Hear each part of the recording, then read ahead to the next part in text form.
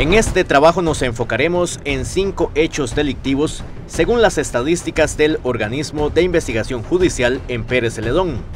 Robo a vivienda, robo a edificación, asalto, robo de vehículo y tacha de vehículo. De estas cinco situaciones, solo la tacha en vehículos aumentó en 2022. Las otras cuatro vinieron a la baja. Hemos estado haciendo la lucha y se ha logrado pues hacer una disminución eh, para nosotros muy considerable eh, en comparación con el año anterior. El robo a vivienda tuvo una tendencia descendente de más del 22% con respecto al año pasado. El distrito más afectado es Daniel Flores y según el OIJ, la forzadura es el método más usado por los delincuentes. Los miércoles es el día con mayor cantidad de casos. El robo de vivienda tiene a Pérez Celedón en un sexto lugar a nivel nacional con 138 casos.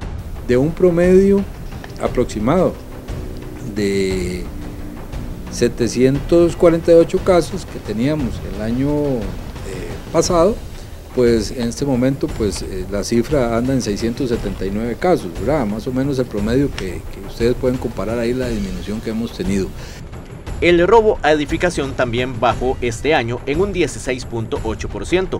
San Isidro del General es el distrito más afectado y la forzadura el método más usado por los delincuentes. Las bodegas fueron el principal objetivo de los antisociales. Esta situación tuvo un aumento marcado desde abril. Los asaltos también vinieron a la baja en 2022, según el OIJ en nuestro cantón.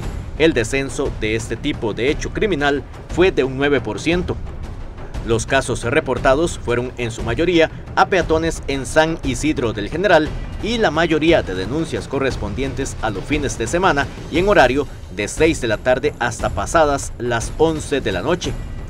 El robo de vehículos tuvo una tendencia descendente de casos que llegó a un 10% si lo comparamos con 2021.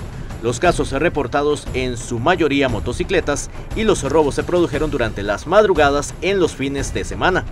Eh, todo lo que es en delitos contra robo de viviendas, eh, robo de edificaciones, también tenemos lo que es eh, robo de vehículos, el tema de asaltos, eso ha disminuido un poco, sinceramente hay cifras que algunas son pequeñas pero, pero muy considerables para el área de investigación ¿verdad? y la disminución de la, de la criminalidad en el cantón y nos topamos con el hecho delictivo que sí tuvo un incremento sustancial en el Valle del General.